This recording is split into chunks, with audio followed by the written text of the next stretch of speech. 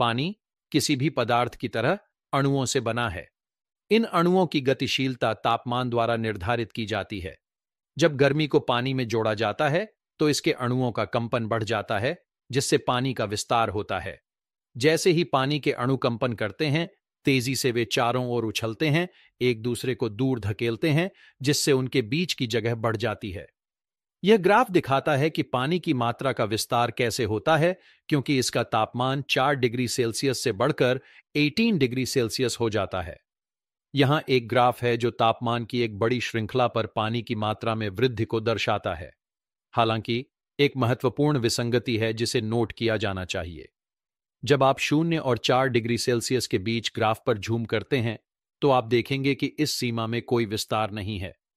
वास्तव में मात्रा में थोड़ी कमी है।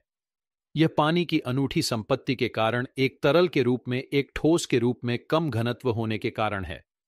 इसे बर्फ़ की क्रिस्टलीय संरचना द्वारा समझाया जा सकता है। जब पानी के अणु ठंडा होते हैं तो वे कम कंपन करते हैं, क्योंकि तापमान ठंड तक पहुँचता है। ये धीमी गति से चलने वाले अणु विशिष्ट बिंदुओं पर, एक दूसरे पर, एक दूसरे पर खड़े होते हैं। एक विशिष्ट जाली आकार के साथ कठोर बर्फ़ क्रिस्टल बनाते हैं।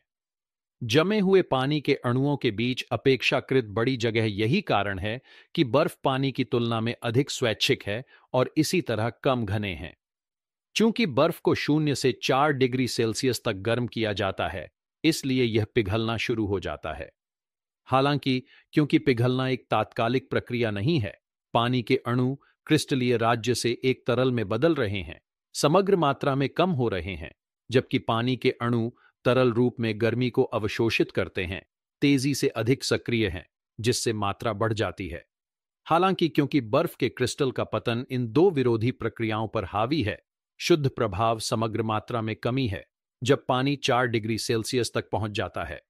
हालाँकि विस्तार पर कब्जा कर लिया गया है, क्योंकि अधिकांश बर्फ़ के क्रिस्टल पिघल गए हैं और स्वतंत्र रूप से वाइब्रेटिंग पानी के अणु बढ़ती गतिशीलता के साथ आगे बढ़ सकते हैं।